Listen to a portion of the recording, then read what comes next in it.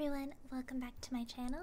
Today I'm going to show you how to use Flash Player if you can't use it because the end of life update. So as you can see, when I try to run Flash Player in this game, it won't let me. It tells me, oh, Flash Player doesn't work anymore. So how do we get around this? I'm using Firefox. We're gonna go in here and change the date to a time when Flash Player was still working. Refresh the page.